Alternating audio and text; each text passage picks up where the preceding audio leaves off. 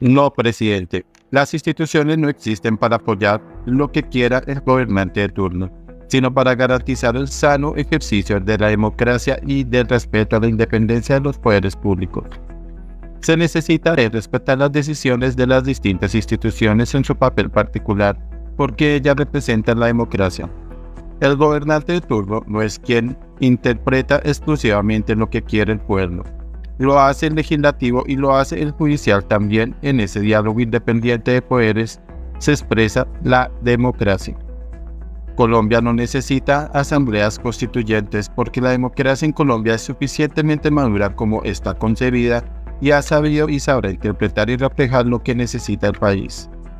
Urgente mensaje de José Manuel Restrepo Bondano en respuesta a la propuesta del presidente Gustavo Petro sobre una Asamblea Nacional Constituyente.